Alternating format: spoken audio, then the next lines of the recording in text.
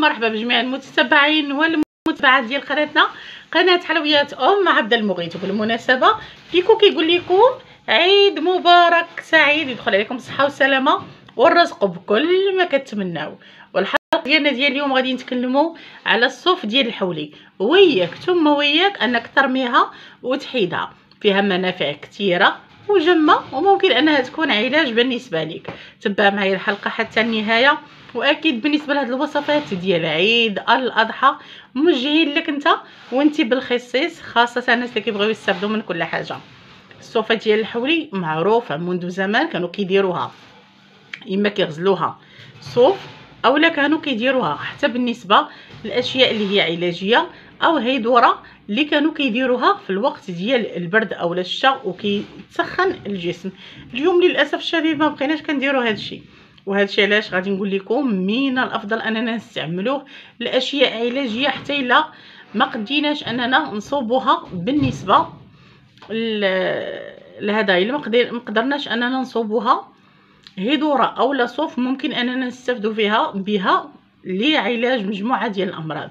علاج الروماتيزم آلام المفاصل التهابات المفاصل البرودة وكذلك العظام اللي كيكونوا محكوكين أو داك الاحتكاك اللي كيعطيك في العظام والالتهابات ديالهم الكثافة العظمية اللي كتكون قليلة وجميع مشاكل الجهاز العظمي بالأخص عند الناس اللي كيبداو كيكبروا وحتى الألام ديال الظهر والرقبة والعنق. هادشي علاش أول شيء كنصحكم أنكم تاخذوا مضادات الالتهاب اللي تكون طبيعية أشياء مسخنة للجسم بحال الزنجبيل أو سكينجبيل وكذلك الملوخية بذور الكتان أو زرعة الكتان اللي فيها المادة الهلاميه اللي فوائدها كثيره وعديدة. ولكن قبل ما غادي نعطيكم العلاج بالصوفة غادي نعطيكم كذلك العلاج أو المشروب السحري اللي ممكن أنكم تستعملوه وتعتمدوه إذا كان عندكم مشكل ديال الروماتيزم وكان عندكم آلام في العظام والمفاصل. فغادي ناخذ زرع الكتان اولا بذور الكتان 100 غرام. غادي ناخذوها نقيوها ونشمشوها ونهرمشوها. ماشي نطحنوها مزيان غير كتهرمش فقط. غادي نضيفو عليها 50 غرام ديال التفاح اولا ديال حب رشاد وبالنسبة لحب رشاد فمن الأفضل هذا فين تخبى. إيوا كيوي بيكو. فمن الأفضل أنه يكون هذاك اللي تيكون حمر وتيكون بلدي. كتجيبيه كتنقيه وتا هو كترمشيه غادي نضيفو عليه هاد المكونات اللي عندنا كاملة 50 غرام ديال الحلبه اللي تكون بلدية. حتى هي كتشد كتنقى كتكون آه، كحلة في اللون ديالها. بغيت شوفوا واش طاب ولا مازال؟ ومن بعد شنو كتخربق؟ ومن بعد كندير غير شوية ما تكثرش الزيتون. دير غير شوية. راه ما بقاش. ومن بعد كنشدو هاد المكونات كاملة من بعد ما كنطحنوها كناخدو واحد العلبة ديال الجبن كنجمعو بها على شكل ديال الكويرات. وتنديروها في واحد البواطة. وكنبقاو من المساء المساء كناخدو كويرة مع كاس ديال الحليب اللي تيكون دافئ اولا اللي تيكون فيض كنضيفو معاه القليل من العسل ديال الكاليبتوس إلا ما كنتوش ناس مرضى بالسكري. وغادي نضيف على هاد المكونات اللي عندنا كاملين اولا على هاد الوصفة اللي عندي. كاملة وصفة أخرى اللي كتستعمل كعلاج خارجي. غادي تاخدي الصوفة ديال الحولي تقطعيها تغسليها وغادي تاخدي هذاك المنجج اولا هذاك ماشي المنجج إنما واحد اللعيبه مشات لي السمية ديالها. كدار كتجبد الصوفة كتقادها لك باش تقدري أنك تغسليها. كتغسل بالملحة اللي تتكون حية. كنخليوها كتنشف يعني كتفك كتبقاي ديري ليها هاك. نتمنى الناس اللي كيشوفوا معنا الفيديو يذكروني بالاسم ديالو المنجج ماشي المنجج مشات لي السمية ديالو.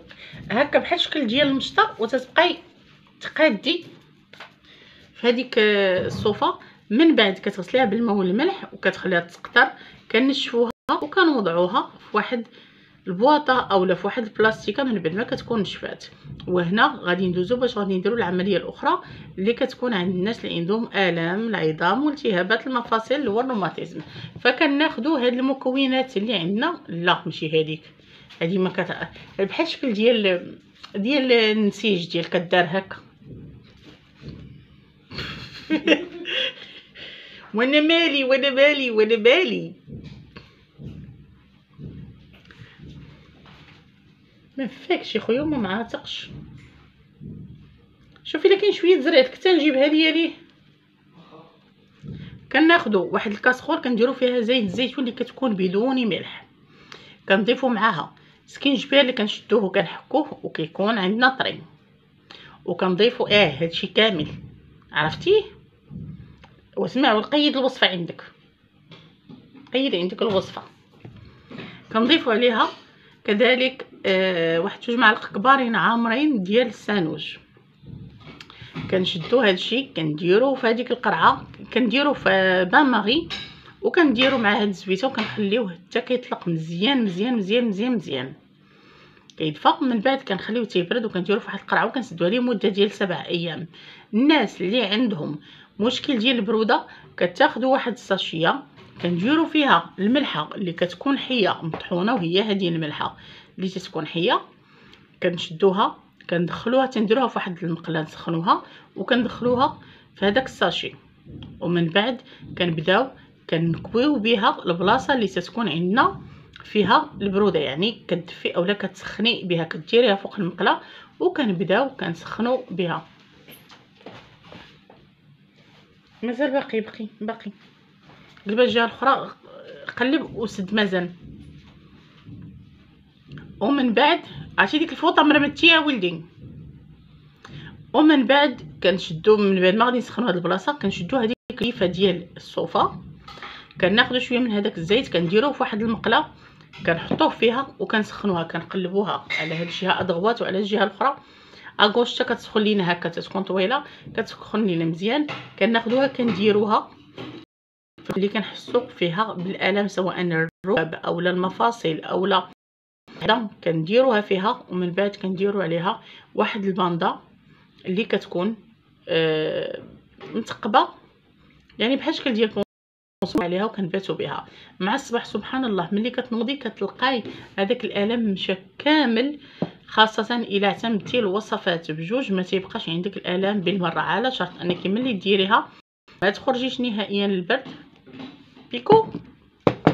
ما نهائيا وما تخرجيش نهائيا آه ما تدوشي ما حتى حاجة وفي نفس الوقت ما تحليها بالمرة. زيارات عليك ما تحليهاش بالمرة. هادو من بين الوصفات اللي أكيد غادي تنفعكم ولا غادي ترحموا لي الوالدين عليهم خاصة بالاستعمال ديال الصوف اللي دائما كنفرطيها وهي كنز رباني ما بين يدينا. نتمنى أنكم تجربوها وكذلك كتصلح حتى بالنسبة الناس اللي تيكون عندهم الرأس ديالهم مفروق الحلقة الأخرى إن شاء الله بإذن الله غادي نعطيكم وصفة بالنسبة للناس اللي راسهم مفروق جربوها وردوا عليا الخبر تهلاو فراسكم إلى اللقاء.